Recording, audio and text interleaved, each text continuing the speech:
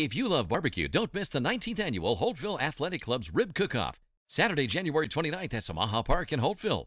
Taste the most savory ribs in the West, pie and ice cream, three live bands, and dance contests.